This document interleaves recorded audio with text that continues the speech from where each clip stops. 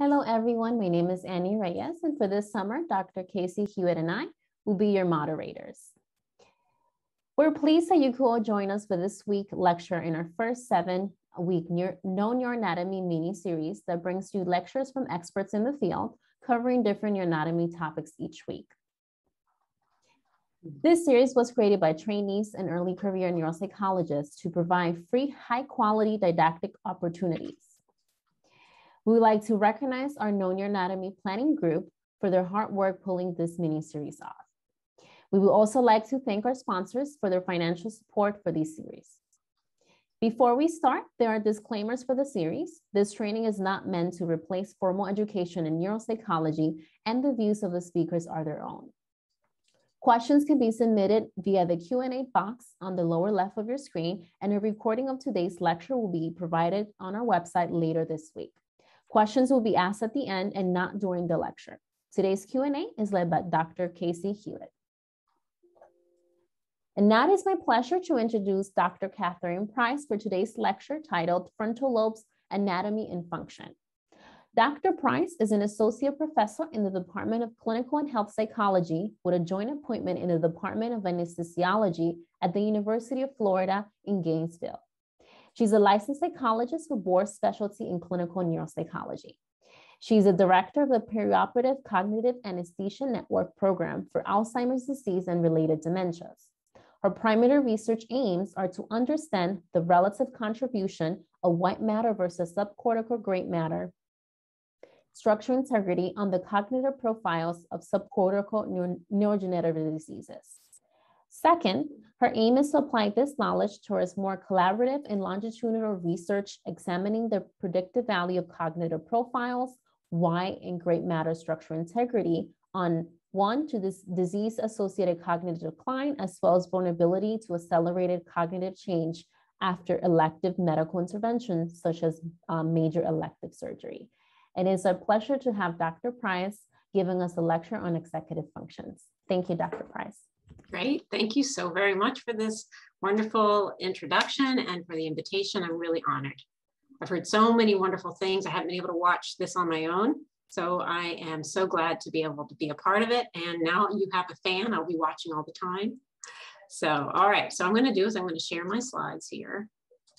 Okay. Can you see the screen okay?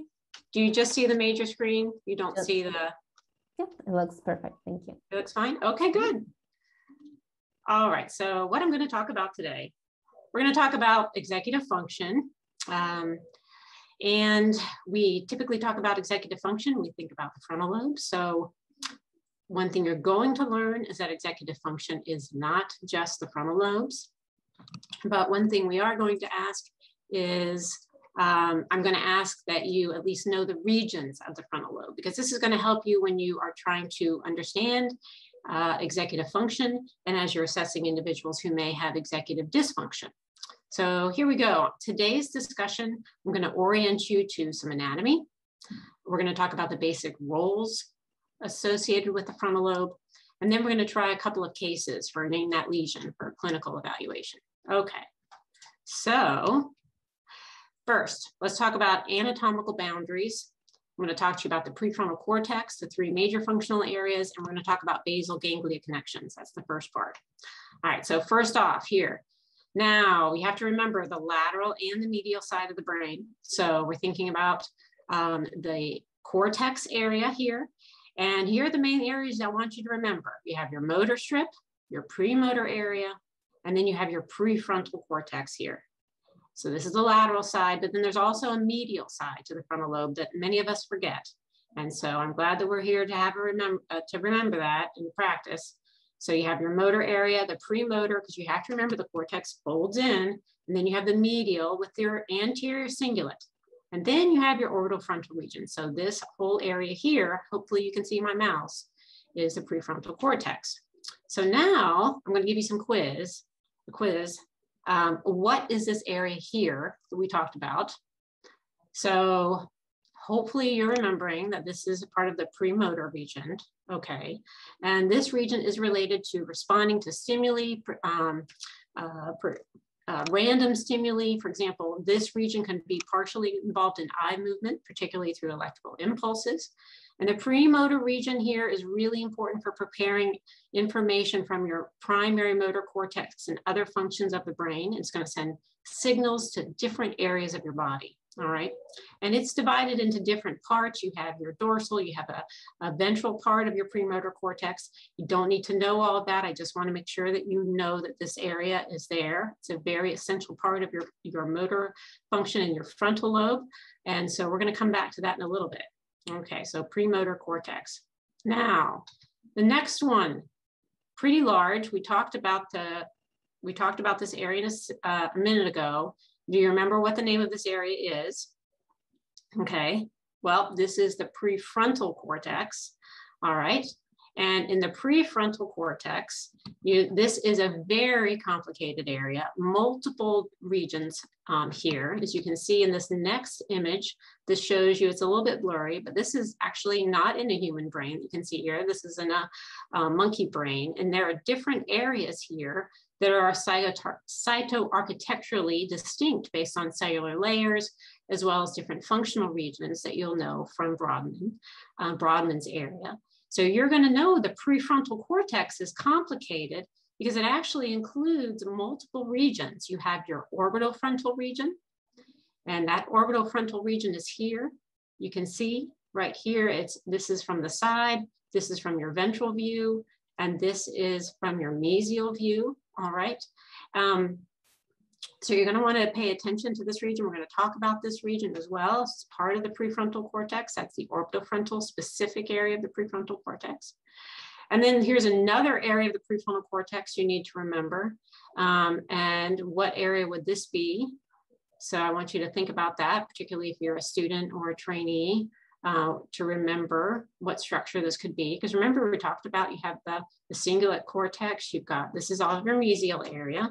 So this would be your medial prefrontal cortex in the middle of the brain, slicing right in the half and you're looking on either side, okay, on the inside of the hemisphere. So um, this is where the cortex is folding in. You might have remembered from when you studied the homunculus, from your sensory and the motor system, you can tell a lot you have to think about the homunculus running across right, right through, um, um, uh, providing you with your boundaries of what areas and what type of the body is being stimulated within different areas. Uh, we're going to talk about that in a second. Later on in the in the talk, I'm going to show you a slide that actually will give you some nice lesion detection. Okay, so what about um, this last area? This is really fascinating for one reason, well, multiple reasons, but let me back up. These regions here, the orbital frontal, are very cytoarchitecturally cellular dis distinctly uh, unique. There are different areas here, the um, area Brodmann 10 and 11 that are associated here um, that I want you to remember um, overlap with a lot of key sensories, your orbitofrontal, et cetera. Um, and then here, when we get back to the dorsolateral prefrontal region, this has a number of different areas here that are not primarily based on your cytoarchitectural or cellular layers. This is your dorsolateral prefrontal cortex. And even though it has this nice blue blob on top here, right, this, lay, this area of the cortex is functionally defined, whereas the other two are defined by cellular layers, and you can actually see distinctly distinct differences in the cortex, in the frontal cortex associated with those regions of interest. But for the dorsolateral prefrontal cortex, which is this structure here, it's functionally defined, which makes it really unique.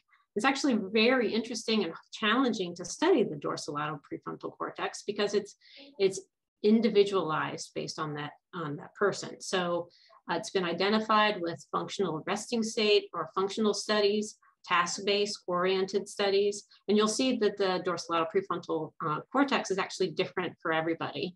Um, other things that are interesting is that it's really challenging um, to uh, do a, to seg segment that area using different types of software. If you've ever tried to use FreeSurfer versus other tools, you'll see that it'll actually extract different areas and different sizes of the dorsolateral prefrontal cortex.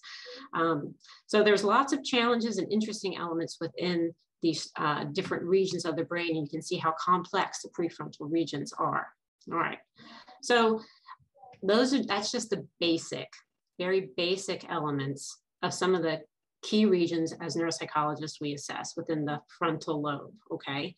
Now, I'm gonna come back to those regions, but I also want you to realize that those structures, those cortical structures, are connected to important subcortical structures and also specific white matter circuits, all right? And this is, you're gonna understand this in a minute. So hopefully this is a bit of a review. All right, so there are five components of the basal ganglia, as well as the thalamus, that you need to remember when you're thinking of the frontal lobes, all right? And the reason why is because the frontal lobe is connected to these structures, these five components, all right? You've got the caudate nuclei, the putamen, the globus pallidus, the sub subthalamic nucleus, and the substantia nigra, okay? Now the caudate and putamen combine to make the striatum, the putamen and the globus pallidus form the lenticular, lentiform nucleus, which looks just like a lens. And then the caudate, putamen, and the globus pallidus make the corpus striatum. So here's a nice uh, depiction of this. Um, and you have to think about more of a vertical, you have to think about the vertical aspect of the brain, right? And the connections between each of these regions. Here is another depiction of this relative to the frontal lobe, I like to say here, this is your coronal slice, like you're taking a slice here and you're looking in. This slice, you're looking, this is axial slice, so you're taking a slice here and you're looking down. All right, so here now you can see that you have your uh, caudate nucleus and the putamen here, forming your striatum, all right? These two areas here. Then you have your, the ventral lateral uh, nucleus of the thalamus here, and you have your subthalamic nucleus, your globus pallidus, and substantia nigra.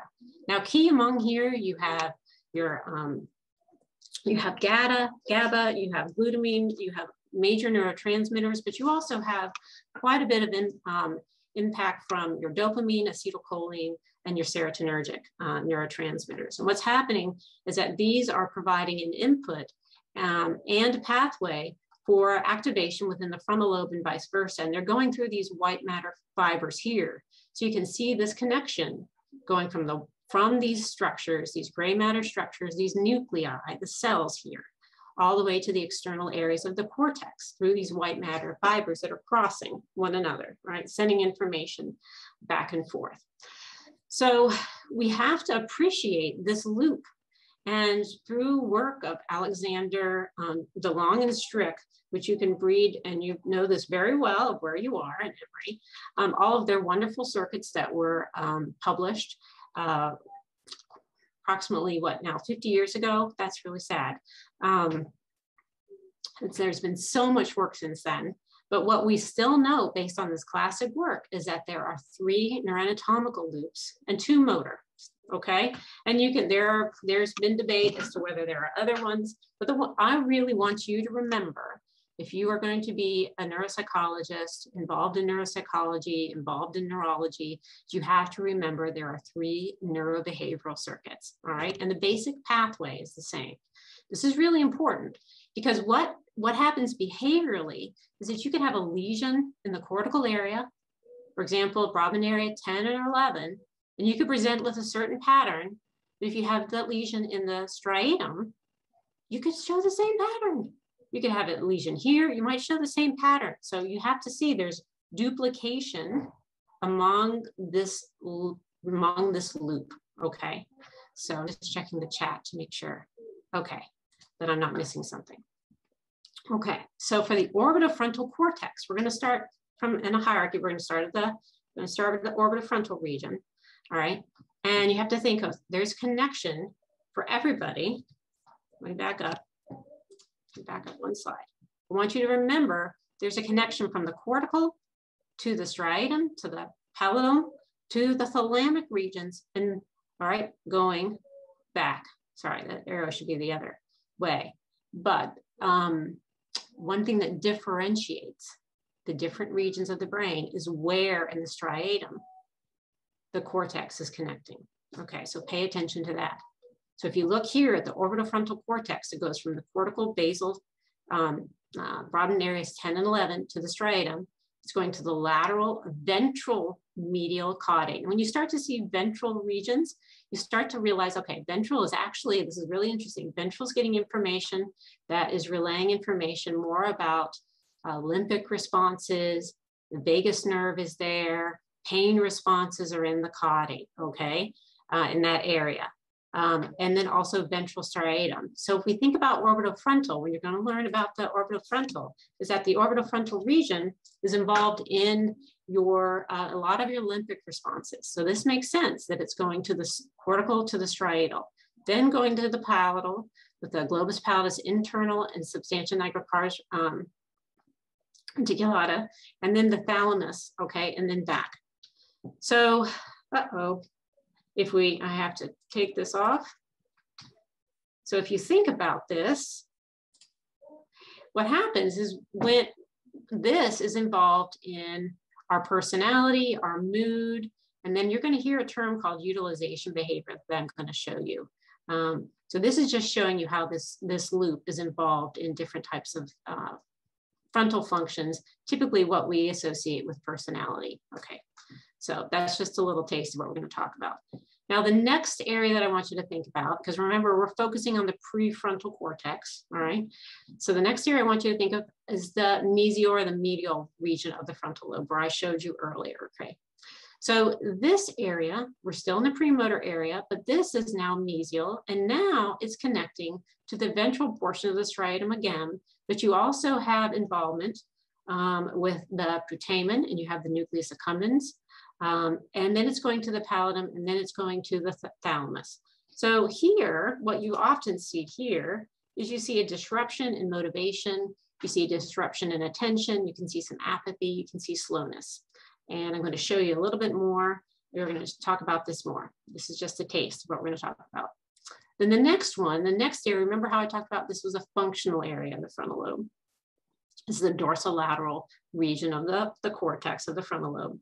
This one, you again have, you have this area, classically we consider area 46 involved, and it goes to the dorsal lateral caudate head. Now remember, I showed you earlier how the orbitofrontal circuit and the mesial went to the ventral striatum. This one's going to the dorsal area of, I'm sorry, dorsal area of the striatum, and specifically the dorsal portion of the caudate. And what we've learned through research is that the caudate is also segmented in numerous different areas. And where the um, projection systems are coming in can tell us a lot. So what we know is that the caudate, the dorsal portion of the caudate actually is really important in more of the cognitive aspects of function, whereas the ventral, like I said, is more involved in more of the visceral, pain, fatigue, um, nausea, uh, those aspects. So you want to think about where the input and the output systems are within the structures. Okay, hold on one second. Let me take this one away too. All right, so now we're back. So typically when we think about damage to the dorsolateral prefrontal cortex, we're thinking about that's the area involved in executive dysfunction is what we typically call um, um, damage to this area. But I want you to think a little bit more critically about this. And I want you to think about really what is executive dysfunction? Is executive dysfunction really aligned only to the dorsolateral prefrontal region. So we're going to talk about that too in a few minutes. Reason why it's typically associated with executive dysfunction um, is because individuals who have damage to the dorsolateral region, typically those are individuals who are having difficulty um, searching for different types of information. They might have uh, make source memory errors. They have difficulty with working memory um, maintaining um, clear output. You're going to see some hyperkinetic behaviors. I'm going to give you some examples of. They may be more stimulus bound. Um, and it's just like things jump out and they want to grab them. So I'm going to show you a bit of, of that too. All right. So the next slide. Now, so that was just basic, basic, basic anatomy with regard to frontal lobe um, areas and their connections to the basal ganglia and the circuits, or the three parallel circuits. And the one thing I do want you to remember, though, the takeaway message from that is that those cortical regions are connecting to specific areas and specific um, structures within that basal ganglia network and within specific areas of the thalamus and that there's a, that lovely beautiful parallel circuit and that you can have a lesion in any area of those circuits that can produce a very similar behavior. All right. So we may think that a behavior is cortical, but what actually might turn out that it's a lesion within the thalamus. All right. In a specific area of the thalamus. Some wonderful work by Bruce Crosson, who was at Emory, he was at UF2. He showed that with language over and over. So if you need to, if you're interested in that, I encourage you to read some of his books and some of his work specifically about um, the subcortical uh, structures in language. it's a really great, great textbook. Um, I love his research. So now let's talk about the functional roles, okay, of the frontal lobe.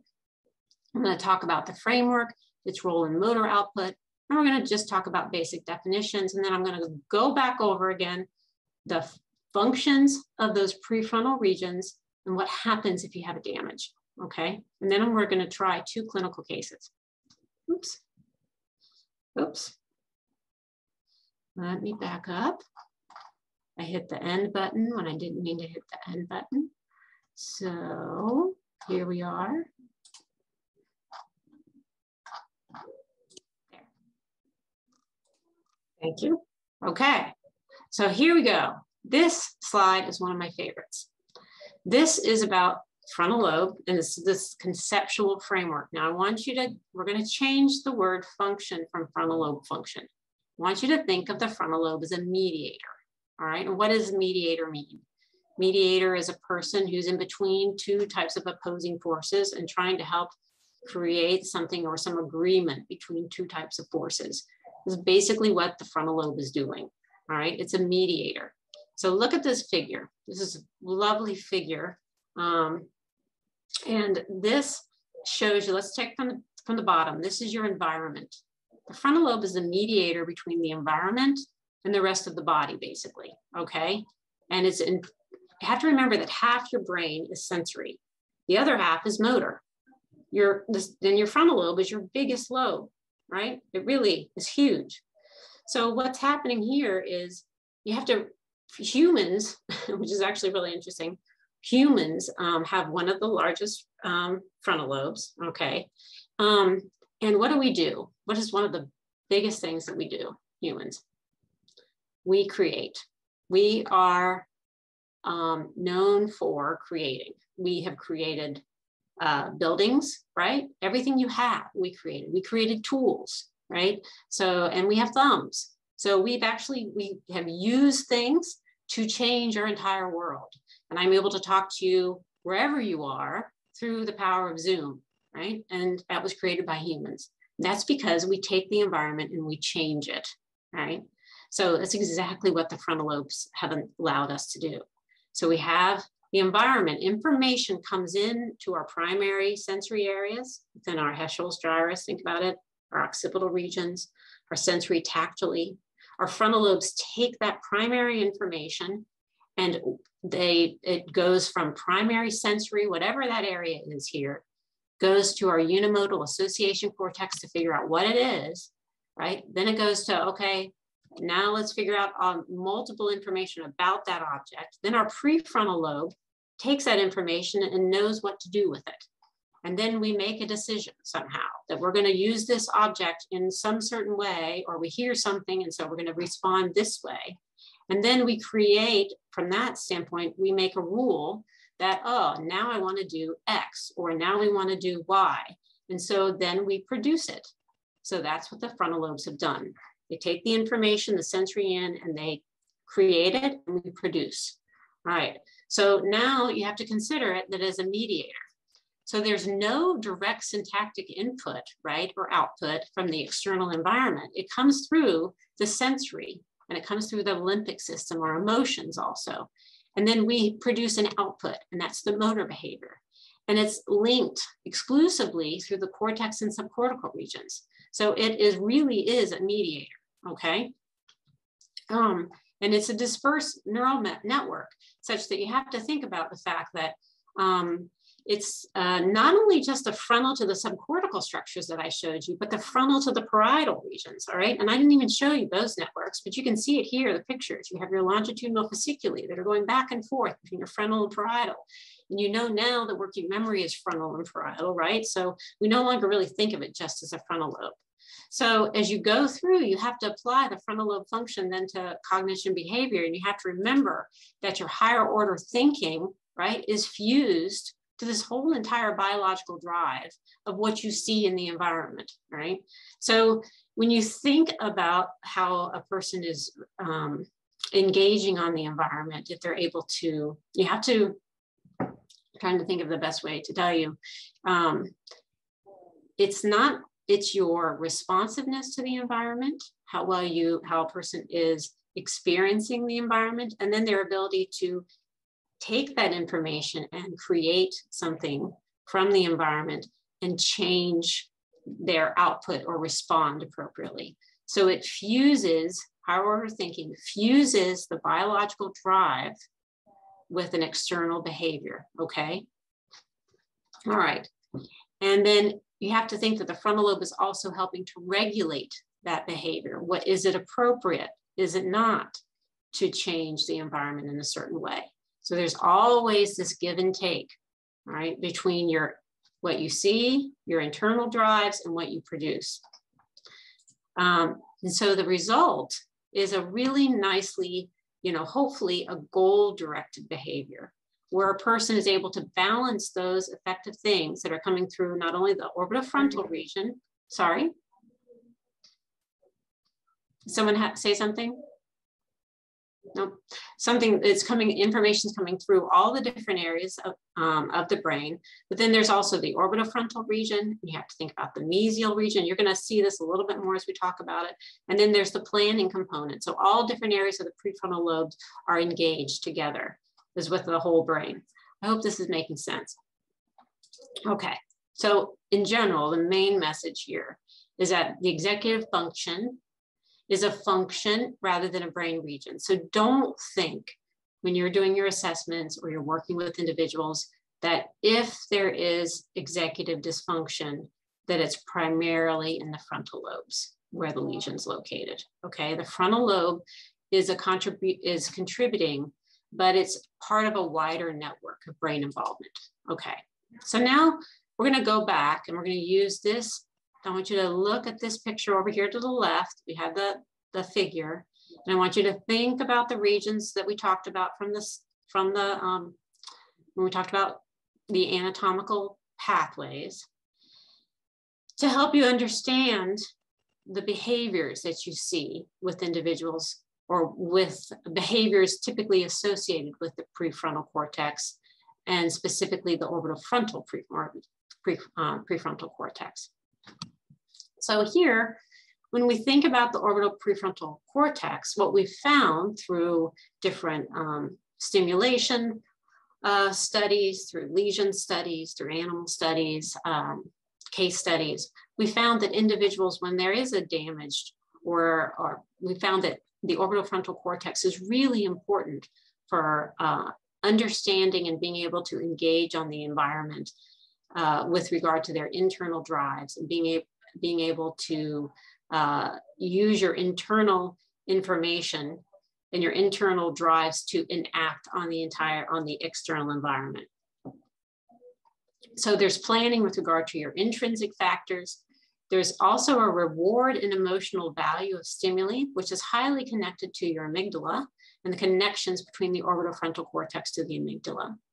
Uh, the orbital frontal cortex is really important for your ability to um, moderate your drives and appetites. It's involved in social behavior. And it, we really think of it with regard to our personality. And you probably remember some very famous cases about individuals who might have had a, a lesion to an area of the orbitofrontal cortex um, and ha have had drastic changes in personality. And I bet you can name one off the top of your head, which would be Phineas Gage. And so you could think of that uh, that individual. And if you do, then you might remember that when you have damage to the orbital frontal cortex, that's when you start to see some of these behaviors. So clinically, you're going to look for these behaviors here. First, you might look for reduced decision-making ability or being overly impulsive, okay? Um, you might see poor social skills. So uh, which is an inappropriate jocularity or laughing, right?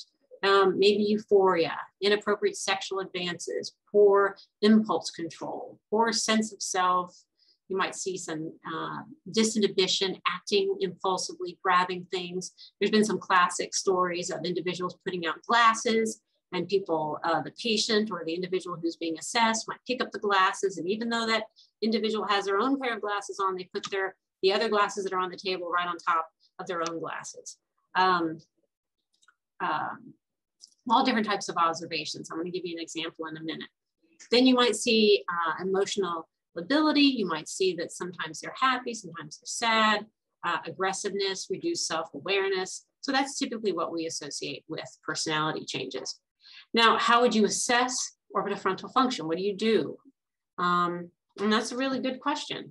And I wish I could have it as a group discussion, but in general, you know, there's some wonderful papers out there. And one I would love you to look at um, is a, is a, some, there are some classic papers um, from Lhermitte that were published on case observations. actually, observation is probably the best thing you could do as a clinician for observing and understanding orbitofrontal behavior. So you're watching an individual. You're a behaviorist, okay? So in um, Lhermitte's papers, this is one, and this is called utilization behavior. And so he has some wonderful papers where he had three different cases that who had uh, different areas of brain damage. And he does a lovely review of all the areas of the brain that were damaged in the separate papers. But in one paper, he summarizes the patients um, that he saw. And it wouldn't be IRB approved today, but actually, what he did is he put out different situations he brought in um, this wonderful woman here and he set up different stations for her. So, for example, he took her into the kitchen and there were dishes there uh, that were dirty in the sink. And he just let her be and watched her. And she went over there, proceeded to go ahead and clean the dishes and put the dishes away. Right. Um, and another example, he had brought her into, I think, um, into the bedroom and there had been uh, some needles out there or sewing kit and she had gone ahead and she had begun to she just picked it up and started sewing and fixing and another more drastic approach she actually had a syringe out and uh, she told him she uh, filled up the syringe with the fluid there and said told him that she would give him the shot so that was a very clear one uh, very interesting case reports yeah, he has an, two other cases that he talks about, but it's these are very extreme cases of u- utilization behavior. But they did have uh, damage within the orbital frontal regions of the brain, as well as the dorsal. Um, so observation is clearly one way in which you can assess orbital frontal function. Other ones is you can use tools such as the Iowa gambling task, where you can really pull on that uh, internal drive response. You can see how a person responds. Uh, to external stimuli based on it. Can they actually make a decision that is going to be useful for them? How, with regard to do they change their environment and their cues? So I would suggest that you look at the Iowa Gambling Task or other um, tools if you want to assess orbitofrontal beha behavior, but also the best uh, approach is using your own observation skills. Okay, so what about the medial frontal or the, sing or the cingulate region? All right, so this structure is involved, like we said again, in your initiation and your um, action and your emotional expression. Okay.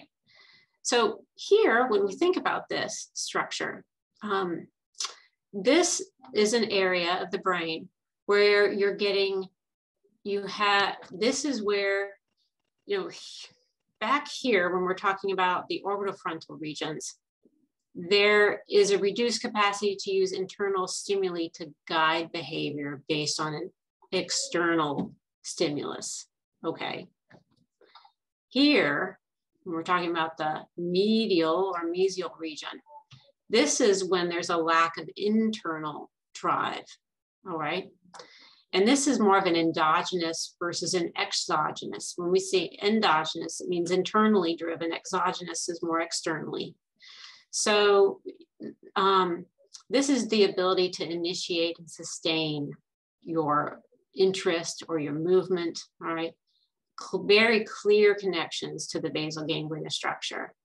Um, and we often see in this structure truly engaged in a number of different disorders. And I'm sure you can think of some on your own that might have, that you can classically think of would be associated with disruption to this structure air or the whole pathway.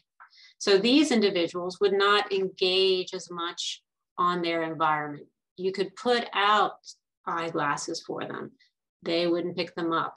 All right. You could try to get them to engaged um, to move to a certain area of the room and they're not interested even watching television they may not be interested or maybe they sit and watch television all day and they don't do anything so individuals with this structure, they typically or damage to this structure or anywhere along that circuit that I mentioned before, they might show uh, signs of akinesia, which means A is loss, right?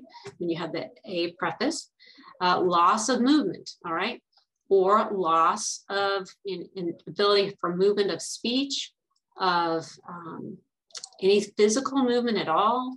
Uh, they may have abulia, apathy, uh, limited action, so limited emotional expression, limited social activity, and one of the classic, uh, classic diseases that we typically associate with medial frontal involvement or disruption in that in circuit here, this circuit here, we typically think of would be Parkinson's disease if you haven't thought of it yet. Okay. Some measures that you could use to assess medial frontal functions, you know, you can look at apathy measurements, which is different from depression.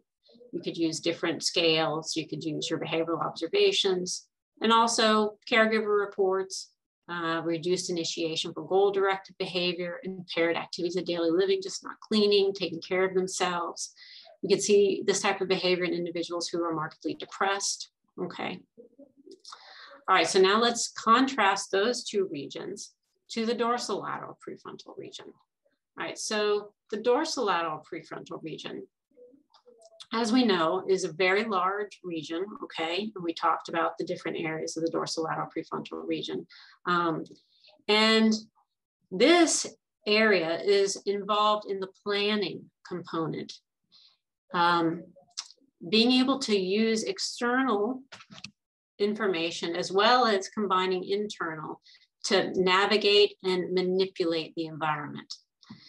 Now, this is where you are processing information online actively. So, working memory is involved, spatial, maintaining information in your mind, multiple types of information mind, whether it be spatial, verbal, uh, internal modulation, as well as external modulation, engagement of both the internal and external uh, drives that, that are there. So, this is very um, very complex, possibly why it has such a very large area that we think of in the prefrontal cortex. It also, like I says, I said, has connections to the subcortical structures, but also to the parietal regions, very much involved in your sensory awareness and your awareness of your whole uh, space. Okay. Um, we typically think of it with regard to working memory, so we think about um, an individual, you know, doing two things at the same time. We think about disinhibition or being able to inhibit immediate responses. We think about attentional control. And here are some examples. So for example, if I ask somebody, I want you to draw two, a three, two, three, two, three, two, three, two, three. And I kept pushing that person, right? And here's their output a two, a three, a two, a three, and they keep going, but then they lose set. They begin to lose their focus, lose their attention. They may get distracted due to internal or external reasons. And here you see a perseveration here, okay? So this is an example, it's actually a, Alex, it's a, a test um, based off uh, Alexander Luria, um, some of his work. And so that is an example of a loss of set that would be associated with dorsolateral prefrontal disruption. Another one is you've probably seen is the Stroop effect. So for example, where you have to see different colors and you name the colors and then you read the word, but then you have to name the color ink and not read the word. So you're having to inhibit, all right? And so this is the Stroop effect. This has been linked to also the dorsolateral prefrontal cortex all right, and the circuitry area. Another example, and we did, remember I talked to you about being able to, uh, the ability to be able to stop behaviors, um, uh, recognize when there is any type of modulation or disruption in a person's output, being able to modulate their own output. That would be linked to dorsolateral prefrontal region disruption. And here's some examples. This is also from um, Luria. This is called hyperkinetic behavior. You can see this here. These are some examples from his books. Um, so here's repeating the circles. You can see perseverations here. This is hyperkinetic um, behavior. And you'll see this on different types of drawings that you might be doing with your participant or your patients. Other areas associated or disruptions associated with dorsolateral prefrontal cortex would be planning and organization. One of my favorite tests is a clock drawing test.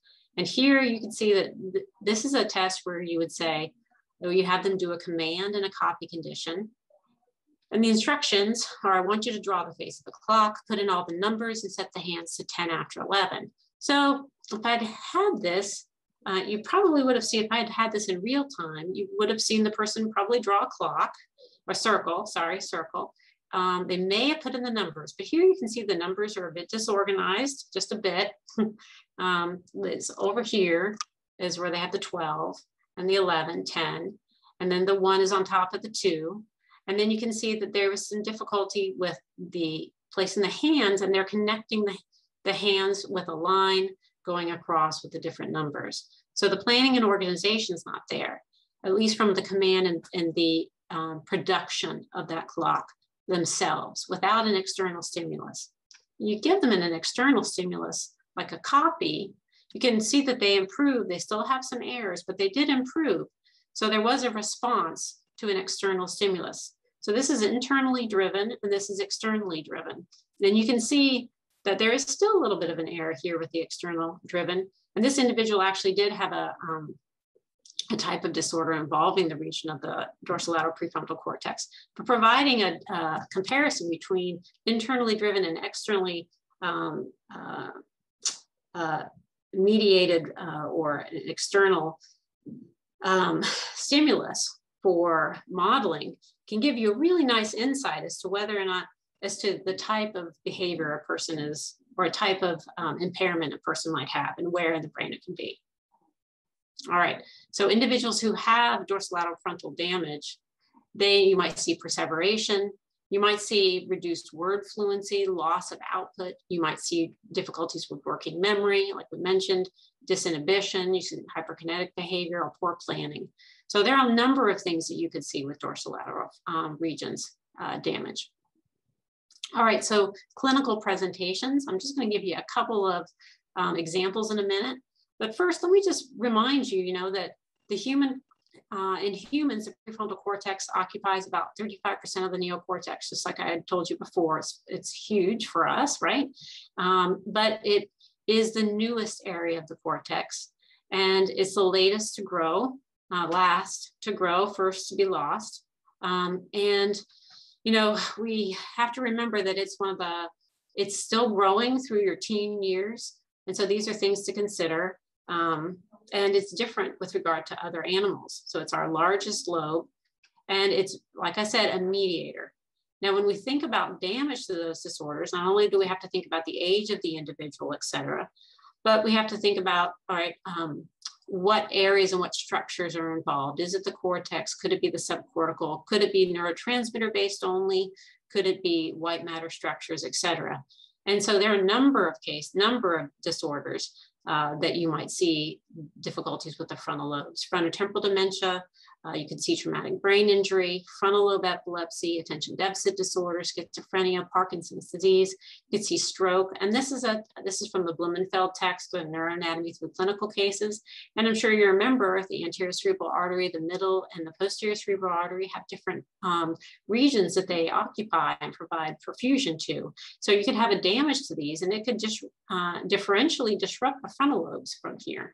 So you have to think that the frontal lobes uh, really are quite wonderful. They provide us with an incredible um, um, uh, source of behavior, but really complex for us. Um, let me give you a couple of examples here. So this is uh, an individual who's 64 years old. He was referred for a neuropsychological evaluation by his neurologist. So his presenting symptoms included increased use of pornography, increased spending of money, multiple affairs, no longer working due to difficulties. He was brought in for a neuropsychological eval, like I said, by his neurologist because they, they really wanted to rule out what could be some of the difficulties, what could be some of the differential diagnoses that they had. Um, I actually saw him. He was eating. Uh, I had to go see him um, at, at, a um, at a clinic, and he had brought in food and was repeatedly eating, uh, pulling out things out of his bag. Um, when we did the assessment, he had an impairment in working memory, recent memory. He was having difficulty with set shifting, disorganized, uh, disinhibited. He was having some difficulty with word retrieval. Um, now, he had progressed a bit, I guess you would say. I'm probably giving, giving you a little bit of an idea of what kind of what kind of disorder he is. Um, but he um, uh, really was doing fine attentionally and processing speed wise. He was walking, his gait was fine, and he was denying any symptoms of anxiety or depression. Uh, so for him, uh, he actually was diagnosed with what's called a frontotemporal dementia behavioral variant based on the, his primary symptoms, which included uh, the orbitofrontal classic behaviors. Um, and he also was having just a progression of the disease so that it involved more of a cognitive symptoms involving now um, involvement of the dorsolateral prefrontal cortex as well as some of his temporal regions. Um, so just due to time, I'm going to skip to the next one. This is Mr. M. He's a 58 year old man who had come in. Now he was really interesting. He was observed in the waiting room. He was hunched over and he's sad. Um, he had limited expression during discussions. Uh, he had um, adequate grooming, but was slow, uh, slow to initiate, slow to move, somewhat lethargic. Now here on some testing, here's his processing speed measures. This is just a T-score. I'm sorry that they're not all Z-scores, um, but this is a T-score. Remember, high is good.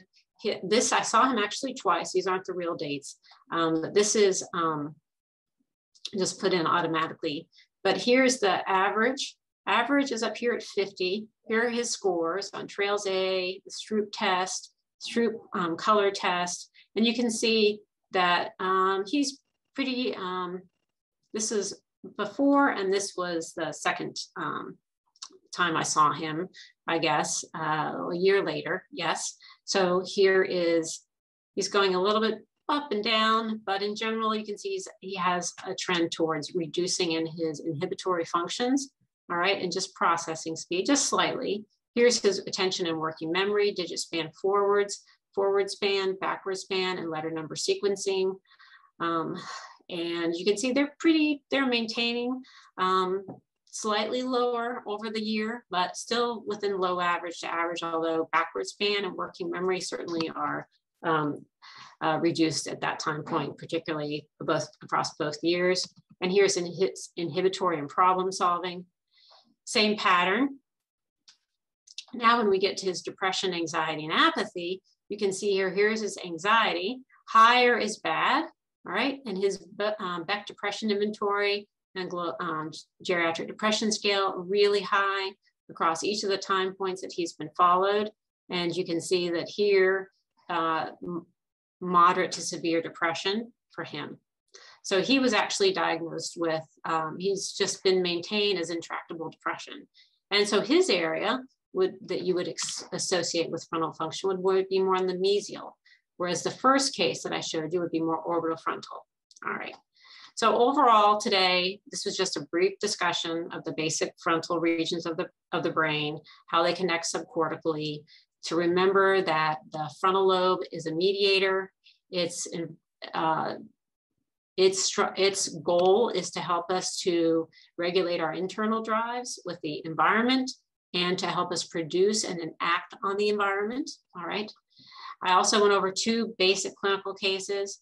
Now, the one thing I really want you to do is just to keep reading, read on the frontal lobes. There are so many wonderful books out there on the frontal lobes. I just encourage you to do that. And like I said, just remember it's a mediator uh, for behavioral profiles. And I want to thank you so much for letting me be here today.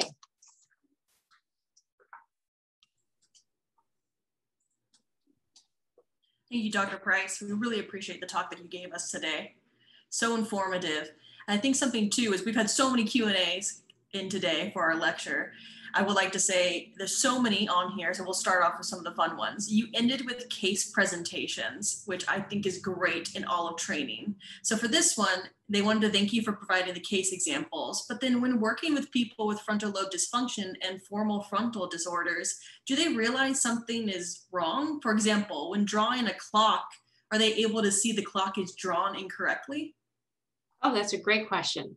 So um, sometimes, many times, individuals are not able to provide you with feedback that what they notice is any that anything is wrong. Um, and so that's a really interesting observation. It's a really great question. In, in your clinical work, what do you do? Do you point it out to them that it, it is incorrect or do you ask them to compare? No, typically not. That's a great question. So you are taking that information in and you move on to the next task.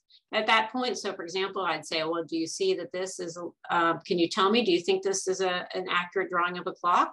And you wait to see what they say. Then you would give a copy condition, see how they do on the copy, or, or you move on to the next task to get more data, to, to data gather.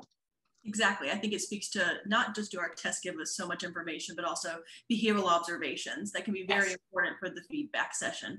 Yes, thank you. I agree.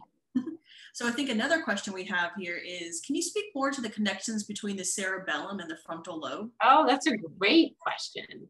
Oh my gosh, the cerebellum to the frontal lobe. So there's, the cerebellum has been so underappreciated with regard to executive function um, and behavioral output. Um, so we have to remember processing speed elements are also involved with cerebellar. Uh, we know that there are cerebellar, regions involved in planning. Um, so, you know, you do have to think about that, but also from a neurotransmitter standpoint. Um, you have to remember that the significant amount of dopamine um, impulse, and then also you have um, regions associated with acetylcholine production. So um, there's some wonderful work, uh, I'm sure as you know, um, being done on the cerebellum with regard to executive function. Um, it's just an area that you have to be aware of and you have to appreciate. Uh, I'm trying to think anybody else can chime in with regard to structures. It's just something you have to you have to be aware of and read the literature and, and know that that is it's a whole brain system. Understood. I think that's the whole point too of this lecture is trying to understand it's a whole brain system and it's hard to break it down sometimes. We really appreciate you trying to talk to us. I felt like for me personally, I felt like you were personally giving me a lecture today and I wanted to chime in sometimes.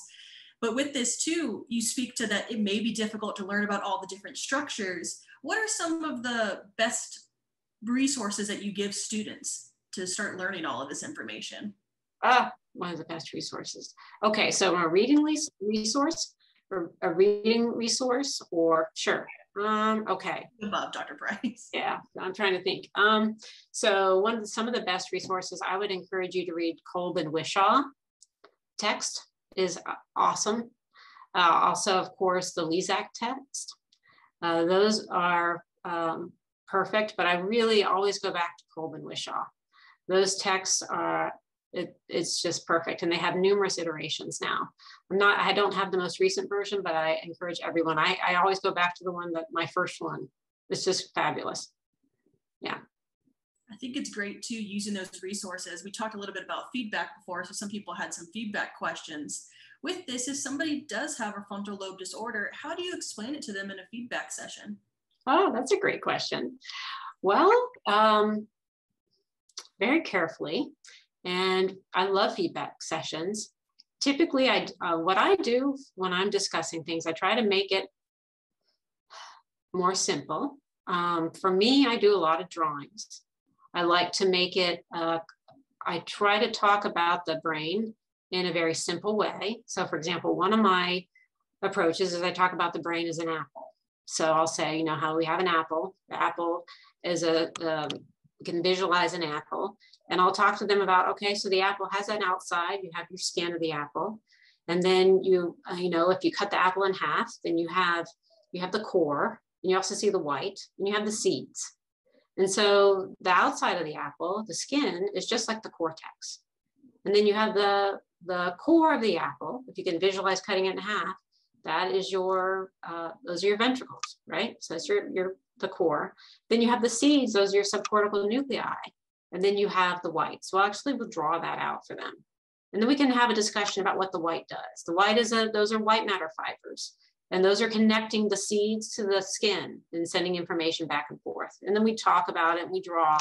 And then when I talk about the different areas of the brain and the behaviors and kind of link it back to the drawing.